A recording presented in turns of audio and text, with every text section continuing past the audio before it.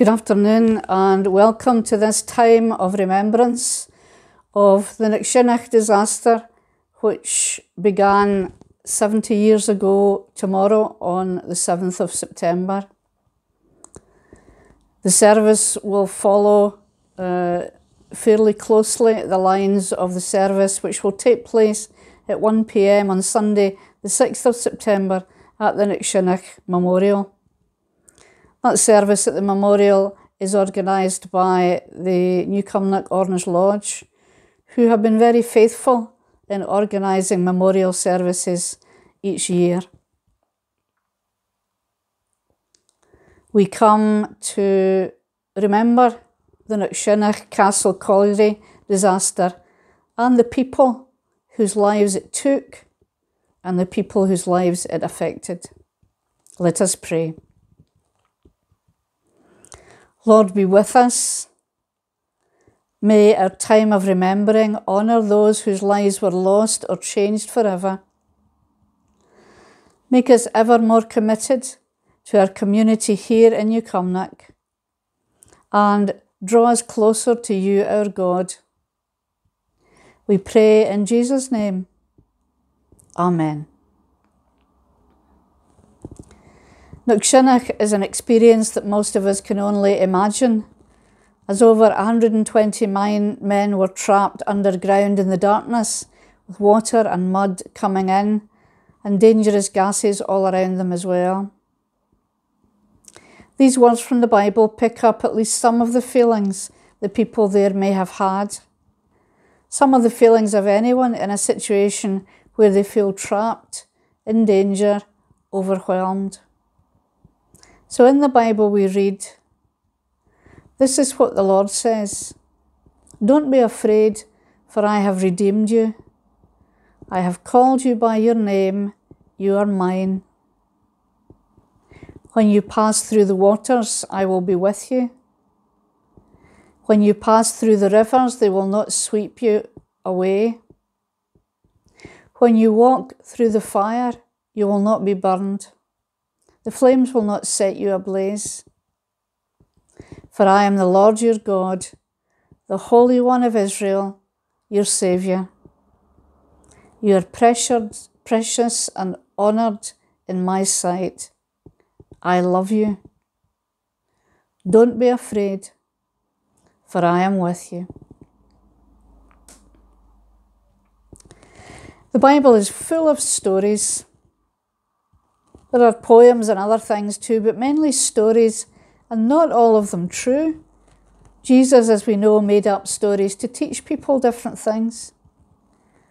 But most of the stories in the Bible are true. And these true stories have shaped the life and character and direction of the nation of Israel and the church. New Cumnock too is full of stories. Not all of them are true, but many are. And these stories also shape the life and character of our community in New Cumnock. And they have a direct, an influence in the direction that it takes, the choices that it makes. Like the story told today, the Knockshinnoch story that Bobby will share with us a bit later. When I was eight or nine, one of my friends whose dad worked at the Killoch told me about a film he said we should watch. It was called The Brave Don't Cry. There was too much in the film for a nine year old to take in, but I remember the telephone working, that amazed me. I remember the cleverness and courage of the men, that inspired me. I heard about New Cumnock, which I thought was maybe just to the left of the planet Mars. I would often, as I grew up, remember the story and be inspired by it all over again. I'm a bit older than nine now. I know, for example, that New Cumnock is actually just to the right of the planet Mars. And the more I've learned about Knockshinnoch, the more inspired and amazed and humbled I've become. But if Knockshinnoch and its many stories has influenced New Newcomnock since those September days in 1950, you would have to say too that New Newcomnock influenced the responses of the men and women and families of the day. That courage and common sense, selflessness and support did not suddenly come out of a clear blue sky when disaster struck. But stories from of old, lives lived, values handed down. Knockshinnoch influenced and still influences New Cumnock. But New Cumnock, I believe, played its part in how people dealt with the tragedy. And was God silent in all of this storytelling? Where was his story? It was right in the middle of it all, told, or rather sung, by John Robertson. Very quietly, with a lot of persuasion at first, but in the end, very powerfully. As John's voice grew stronger, others joined in with the chorus, and even the people outside could hear. What a great picture of the words we read earlier. I will be with you. God doesn't promise to take us away from difficult situations, fire, flood, storms. But in these situations of tragedy and despair, we have these words of rock solid hope. I am with you. A promise, not always for the well being of our bodies, but always always for the safety of our souls.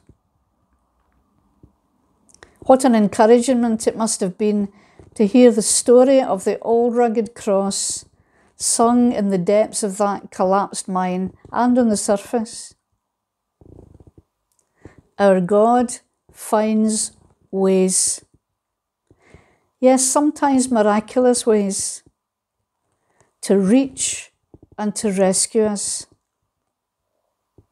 And when that, for whatever reason, is not to be, he doesn't turn on his heel and leave. He stays with us. That's our hope and reassurance when we think back to those September days 70 years ago.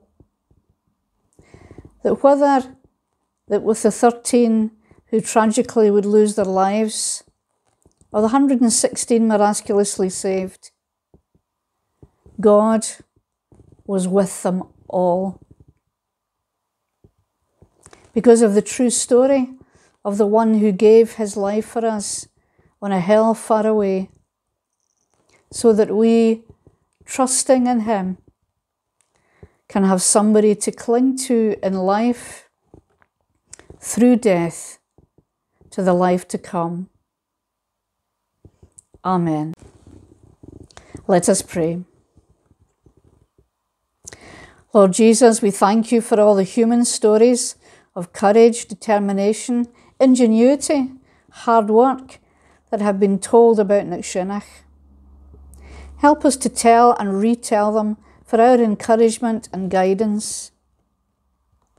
We thank you too that in the darkest, most hopeless of places, your story was told bringing faith and hope through trust in your death and resurrection for us, for this life and the next.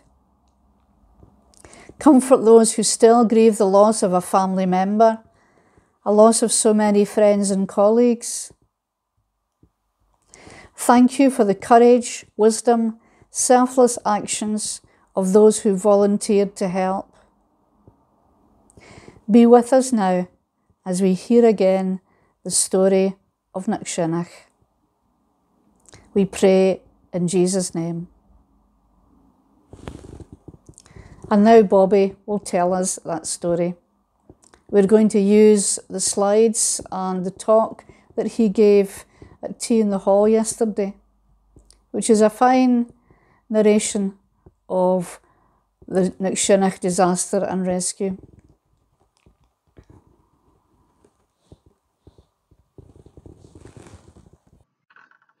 Today I'd like to talk about the Knockshinnoch disaster and rescue to mark the 70th anniversary of that unforgettable event in New Cumnock's history. Knockshinnoch Castle Colliery eh, was sunk in 1939 by New Cumnock Collieries Limited and it was one of the most modern mechanised pits in Scotland at the time.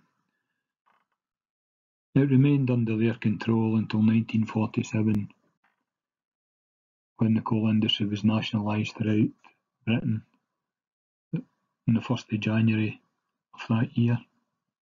By 1950 it was producing 5,000 tonnes per week and employed 600 people underground and 120 in the pit head.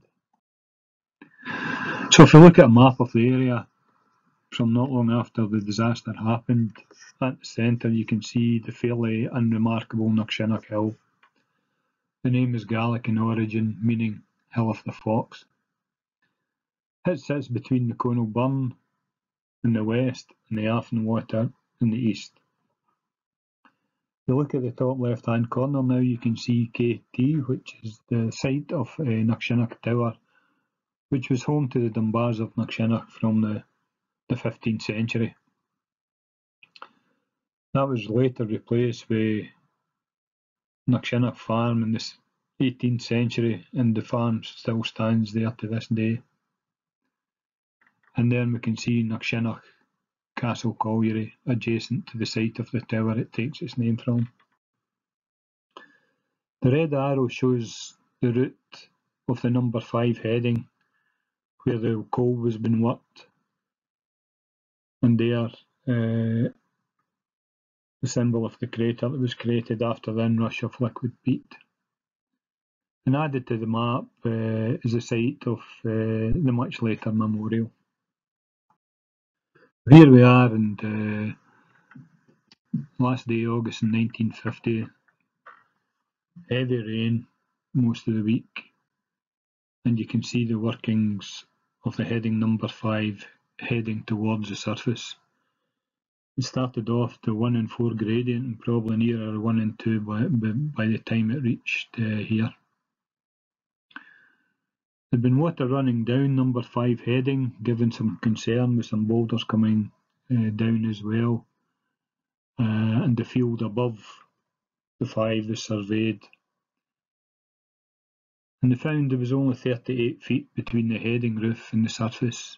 It was a wee bit soggy underfoot and appeared ordinary soil with nice green grass on it. Forward now to Thursday the 7th of September 1950. The heavy rain in New Cumnock had continued and at 6.30 that evening there was a large fall at the face of number 5 heading. Inspection of the field above revealed some subsidence and that area was fenced off. However, the nice green grass was concealing a hidden danger, for below it lay a lake of liquid peat or moss. Regrettably, although the map of the area held centrally indicated the presence of moss, the map held at Knockshinnoch did not. At half past seven, the lake unleashed a vortex of some 60,000 tons of liquid sludge down the heading at a great force, destroying equipment and machinery and anything that got in its way. This aerial image taken the following day reveals the extent of the inrush and can only conjure up images of the disaster unfolding below. On the right hand side is a map of the workings of Knockshinnoch Castle Colliery. Here you can see the number 5 heading with an image of the crater and X marking the spot of the inrush of peat. Thirteen men were working in this area of the pit when the inrush occurred, and initial searches, hampered by the sludge, failed to locate them. Meanwhile, news of the scale of the inrush was communicated to the other 116 men working down the pit. Under the leadership of Overman Andrew Houston, they congregated at the West Mine Station, where thankfully the telephone contact to the surface remained intact. Houston was able to explain that they were all trapped with no means of escape, and also sadly confirmed thirteen men were missing. At the surface it was recalled that in order to improve the drainage in Knockshinnoch, a new road was driven into the abandoned Bank Number Six workings and progressed to within twenty-four feet of the nearest bank tunnel. A barricade of rock, earth and coal separated the two, and a small borehole was drilled to drain off any water from the Knockshinnoch side. The plan was now to fashion an escape for the 116 men by means of a rescue hole at this point. News of the extent of the disaster was conveyed to the NCB officials and Mine Workers Union and to the outside world. Knockshinnoch would be on the front pages of newspapers across the land and beyond. The mine rescue brigades, volunteers, local and fire emergency services were all mobilised. A preliminary check of the bank number six workings was carried out, while Andrew Houston was instructed to have the barrier checked from the Knockshinnoch side and share the news with his men. The rescue plan illustrates the routes to the barricade. The green route shows the route taken by Houston and a party of his men via the Waterhead Dook to reach the barricade, while the blue route shows the rescue brigade entry into the bank number six workings as they prepared to encounter the deadly fire damp gas in the abandoned works. Powerful fans were taken in order to establish a main fresh air base and an advanced fresh air base. The photo on the right shows the rescue men entering bank number six and hutches with an electric fan in the front hutch. Now into early Friday morning, and as expected, bank number six was full of fire damp gas. By noon, 300 feet of the gas had been cleared. From four o'clock to nine o'clock a stupendous effort was made to install more powerful fans. However, worryingly, no real progress was made in clearing the gas. The photo shows an anxious crowd of, no doubt, family, friends and colleagues of the trapped and missing men at the entry to the bank workings. At 3 pm, Houston and his men were given clearance to start digging a hole through the barricade, taking turns in small teams. At 10.45 pm that evening, rescuers and miners holed through the barricade together. The miners were then instructed to begin widening the hole with caution. Fire damp in the bankside remained a big problem. There were also concerns that the airflow may change direction, with fire damp flowing through from bank to Knockshinnoch. The photo shows rescue worker Simon Grant of the Kirkconnell rescue team being stretchered out of the bank number six in the early hours of Saturday, the 9th of September. No doubt increasing the anxiety levels of those waiting at the pit head for their loved ones. There was good news on the Saturday morning with the delivery of food and drink delivered to the trapped men, but this soon changed when the news that fire damp had been detected in the Waterhead Dook on the Knockshinnoch side. Morale was then boosted when local man Dave Park, now Deputy Labour Director in NCB Scotland, joined the trapped men and would remain with them throughout. These images from the bank number six pit head show family, friends and colleagues waiting anxiously for news, any news, of the trapped and missing men. The fire damp in bank number six was stubbornly not for shifting, and time was not on the side of the trapped miners. Dave Park had called for a change of plan in terms of the breathing apparatus that would be used to escort out the miners, promoting the use of the less cumbersome Salvus equipment, although it had not been approved for use underground.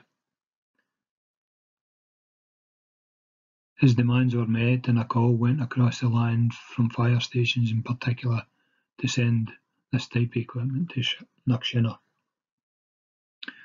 The sense of urgency intensified as gas was now detected near to the Westmine telephone station. Further concern when at 12.45 in the Saturday afternoon one of the younger miners had taken a turn for the worse and required to be stretchered out.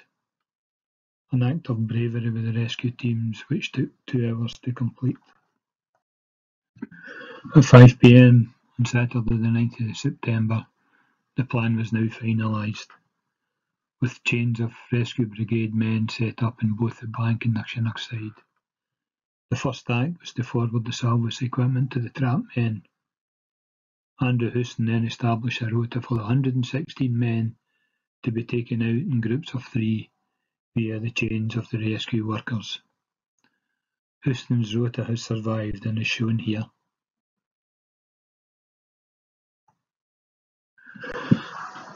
At 5.20 in the afternoon of Saturday 9th of September 1950, almost two days since the inrush at the number 5 heading, the evacuation of 116 trapped miners began, and at 6.07 pm the first group were greeted with great cheers at the pit head of the bank number 6.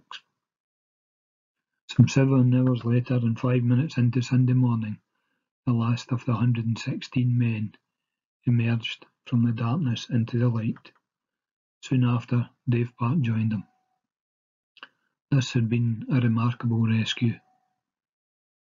A hundred and sixteen lives saved that once were feared to be lost. Twenty rescue brigades involved, six brigades constantly in the danger zone at one time, and the Coatbridge rescue team remained in the Knockshinnoch side throughout the evacuation.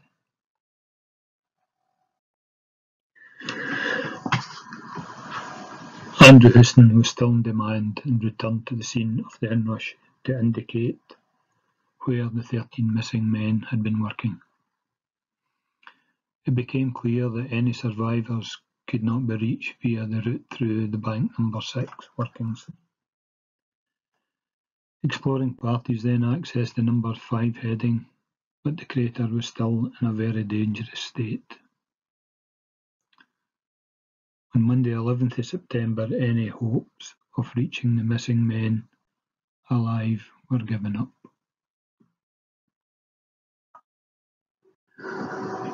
Those missing men were John Dalziel, James Houston, Thomas Houston, William Howitt, William Lee, James Love, William McFarlane, John McLatchie, Samuel Rowan, John Smith, Daniel Strachan, John Taylor and John White.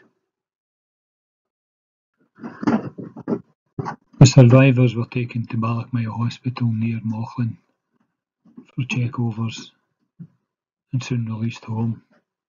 And A week later many of them enjoyed a trip to Butlins at Ayr.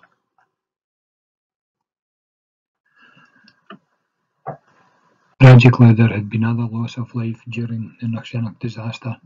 Hugh Blackwood volunteered to help dig ditches to divert the water away from the crater.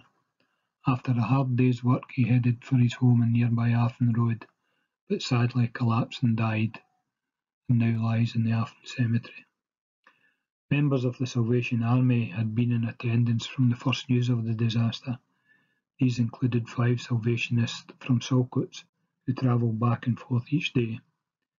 Tragically, on returning home on the Sunday morning, their car was involved in a crash and driver Arthur Morris was killed at the scene, while his fiancée Iris Wiley later died in hospital of her injuries. They lie together in Atherstone Cemetery.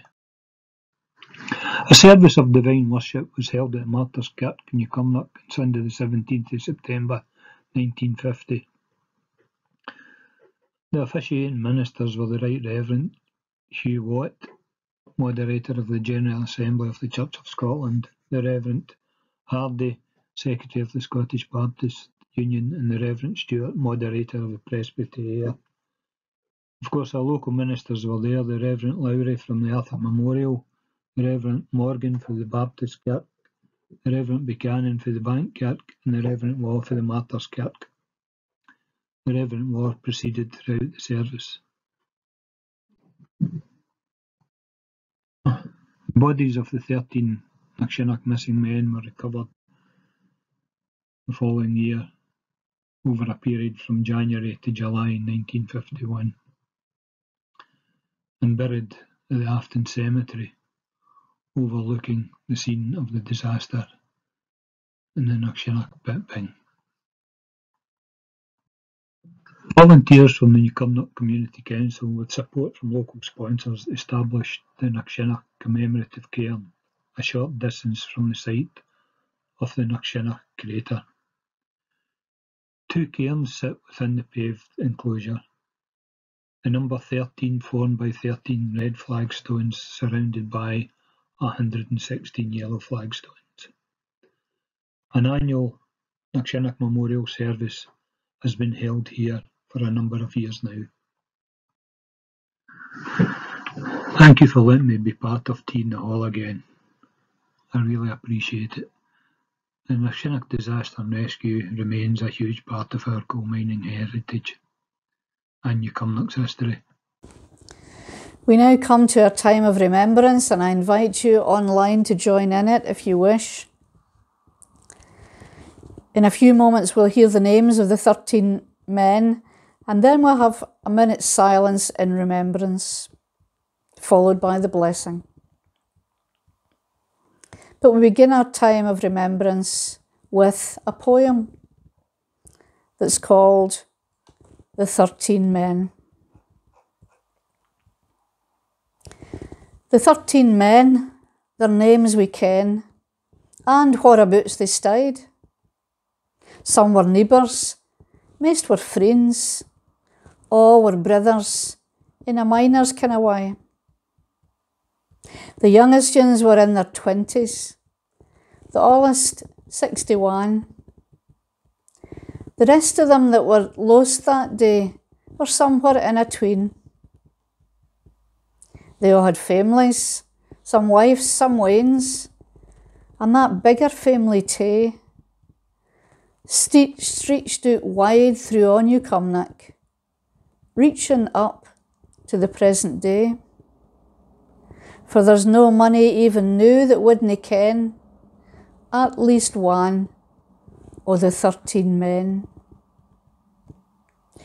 Their names are on a wheen of lists, forms, reports, investigations, on plaques, memorials, and of course read out at each commemoration. We'll no forget them, nor will their names by their God forgotten be. For each of them, like each of us, is the apple of his eye and for each of them, and for each of us, Jesus died on that old rugged cross. And I ken with mine and all this day, o the rescued, the 116. We honour them and their rescuers and shudder at what might have been.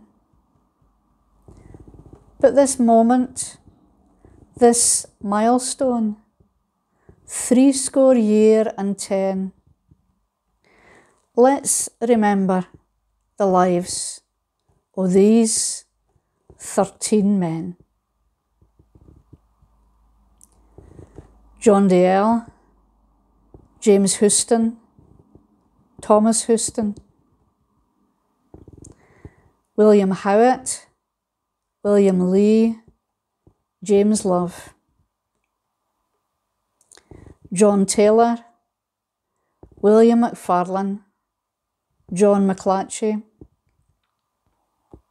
Samuel Rowan, John Smith, Daniel Strachan, John White. Knockshinnoch's 13 men.